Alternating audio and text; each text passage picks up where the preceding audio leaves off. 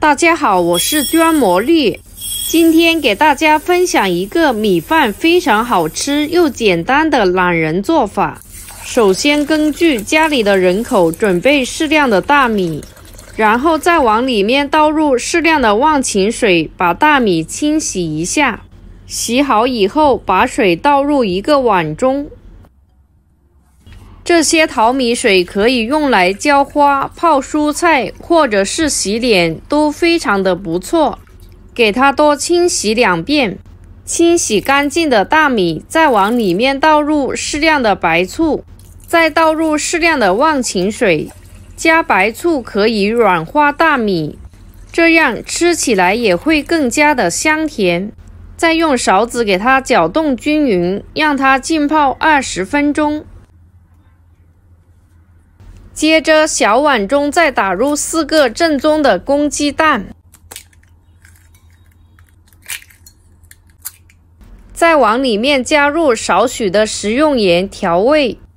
加入适量的料酒去腥，再加一点温水，再用筷子朝着外婆家的方向给它充分的搅散。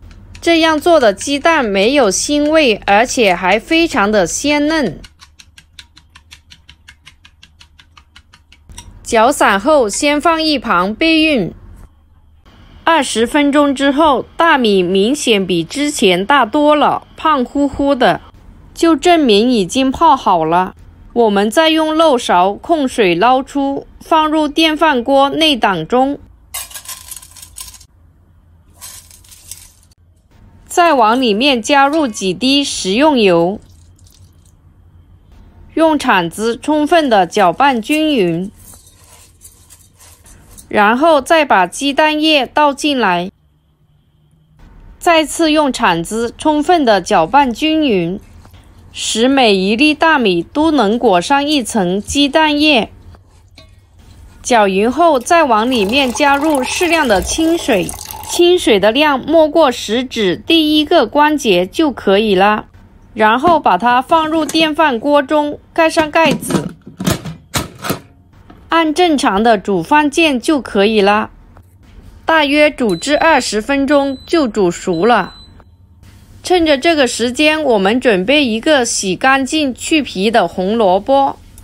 先把它的头部切掉，再把它切成厚厚的薄片，可以稍微切的厚一点。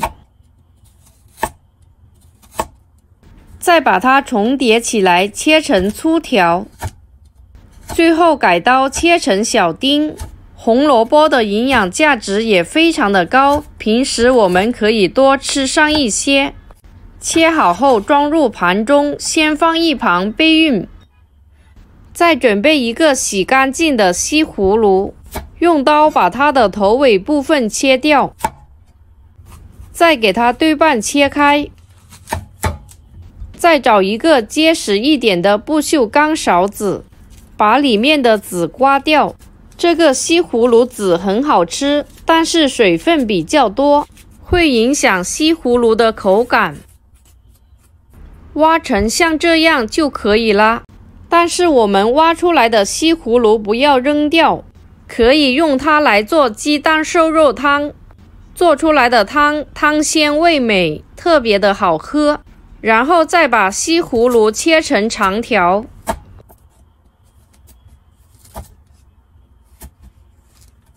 最后改刀切成小丁，切好后装入盘中，先放一旁备用。再准备一个洗干净的洋葱，去头去尾。接着给大家分享一个切洋葱的小妙招，在洋葱切口处撒上少许的食用盐，给它涂抹均匀，然后再竖着给它切成长条。加入食盐可以防止辣眼睛，因为它的气味吸附到我们鼻腔，所以才会导致我们的鼻腔闻到刺激的味道才会流泪。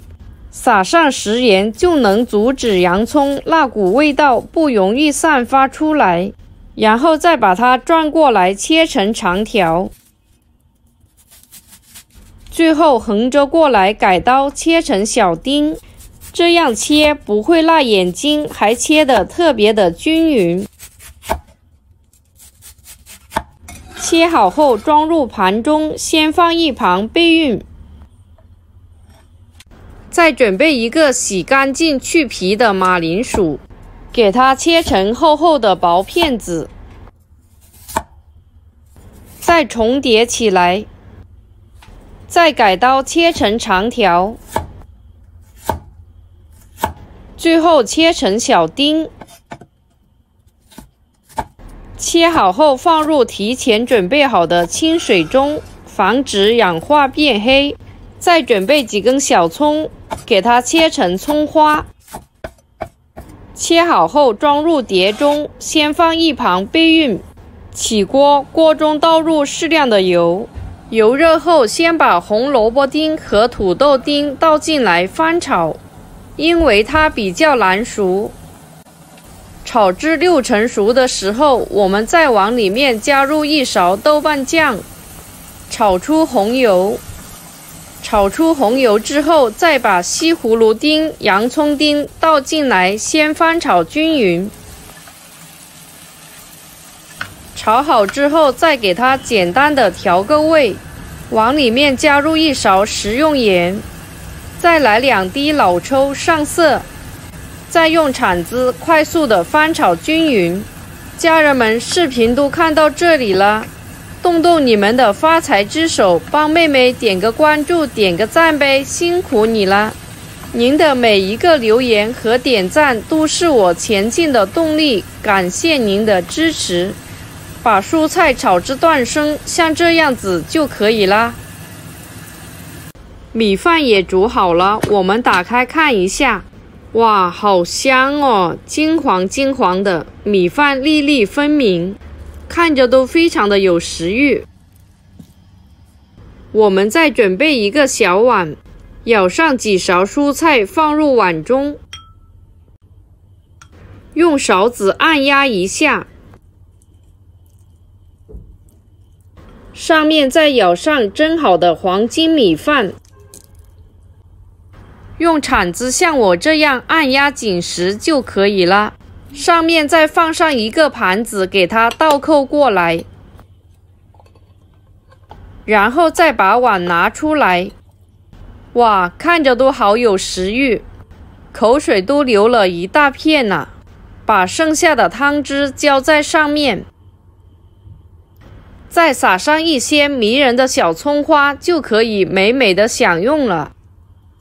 米饭这样做，有鸡蛋、有肉，还有蔬菜，营养特别的丰富，非常的全面，做法也超级的简单。每次我这样焖饭，孩子们特别的喜欢吃。喜欢的朋友也赶紧收藏起来试试吧！记得点赞、关注、留言、转发哦，谢谢您。好吃易做的家常菜，娟魔力天天分享。我家大魔力也开吃啦！家里有小朋友的，赶紧做起来吧，孩子们肯定会夸你是大厨。